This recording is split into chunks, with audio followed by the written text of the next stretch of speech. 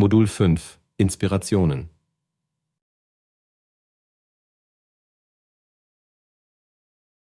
Schön, dass ihr wieder da seid.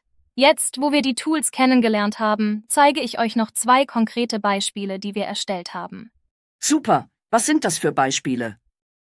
Das erste Beispiel behandelt das Thema Landwirtschaft, speziell den Vergleich zwischen konventioneller und ökologischer Landwirtschaft. Es ist für die Sekundarstufe 1 gedacht. Das zweite Beispiel befasst sich grob mit der Ökologie eines Sees und richtet sich an die Primarstufe.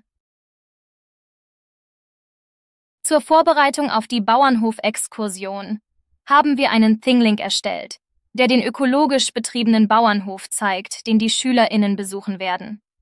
Die SchülerInnen können sich vorab ein Bild vom Hof machen und falls notwendig wichtige Informationen erhalten. Und wie geht es während der Exkursion weiter? Während der Exkursion nutzen die SchülerInnen eine Twine-Geschichte, in der sie als Agenten den ökologischen Bauernhof erkunden. Die SchülerInnen lernen die Unterschiede in der Tierhaltung, Düngung und Pflanzenschutz kennen. Das klingt spannend. Und wie sieht das zweite Beispiel aus? Das behandelt die Ökologie eines Sees. Für die Vorbereitung haben wir eine H5P-Aktivität erstellt, die wichtige Informationen erklärt und das zuvor im Unterricht behandelte Wissen über Tiere und Pflanzen am See wiederholt.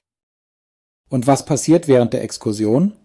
Während der Exkursion nutzen die SchülerInnen eine kindgerechte Action-Bound-Geschichte, in der sie als UmweltdetektivInnen an verschiedenen Stellen Wasserproben nehmen, um die Qualität des Wassers zu untersuchen. Es gibt Hinweise darauf, dass ein Umweltverschmutzer illegal Müll in den See entsorgt hat.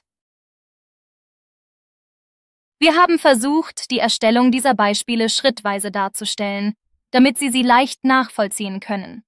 Schauen Sie sich die Worked Examples genauer an und nutzen Sie sie als Inspiration für Ihre eigenen Projekte. Und denken Sie daran, das Forum zu nutzen, um Fragen zu stellen oder Ideen zu teilen.